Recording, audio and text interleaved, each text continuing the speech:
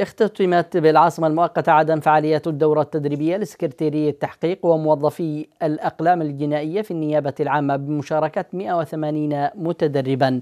هدفت الدورة على مدى ثلاثة أسابيع لإكساب المشاركين مهام ومهارات كتابة محاضر التحقيق وأعمال القلم الجنائي وكيفية تحريز وحفظ المضبوطات والقيد في السجلات العامة في النيابة ومهارات الخط والإملاء وعمل الإحصائيات. وشدد المحامي العام الأول قاضي فوزي علي سيف على ضرورة تطبيق المشاركين ما تلقوه من معارف ومهارات على أرض الواقع.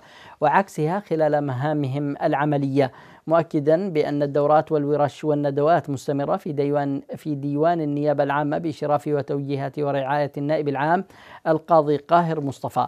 وتخلل حفل الاختتام الذي حضره رئيس نيابة جنوب عدن القاضي وضح باذيب ومدير دائرة التدريب والتأهيل في مكتب النائب العام القاضي شائف الشيباني ومدير عام النيابات القاضي صالح باشافعي تخلله تكريم المشاركين.